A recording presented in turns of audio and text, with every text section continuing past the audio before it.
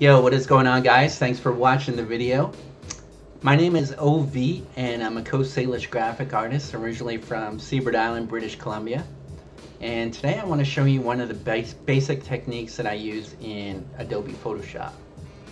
I've been doing graphic art for about six years now and when I first started out I spent a lot of time on YouTube watching basic tutorials, Photoshop, Illustrator, and I always thought it'd be cool to see another indigenous artist putting out content to learn from. So I really want to thank the Create to Learn program for giving me an opportunity to do something like this. I think it's really cool and I'm just happy to be a part of it. So today I'm going to show you one of the techniques that I use and this is about mirroring an image, creating uh, a symmetrical design. And if you follow my work, you'll notice uh, I do that often in a lot of my designs. It's you'll, you'll notice that I have a lot of balance and a lot of symmetry in my designs. So we're going to be doing that. And as you can see here, this is a Coast Salish hummingbird design that I did recently. And I already drew it out added some editing to it, a little bit of shadowing and a drop shadow effect. And I want to add on to this. So my next step is creating some guidelines. And in Photoshop, what you want to do is go to View, make sure Rulers is checked, Snap is checked, and Snap to Guides.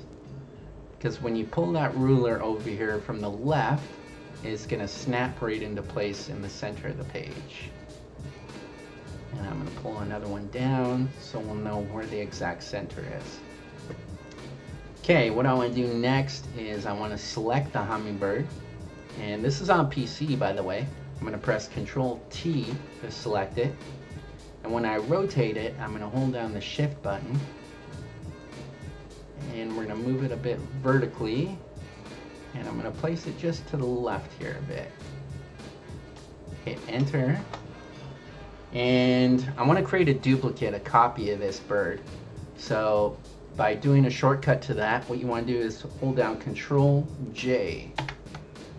And when you press that, there's another hummingbird sitting on top of it. My next step from here is I'm going to select that bird by pressing Control T and then right clicking on the mouse.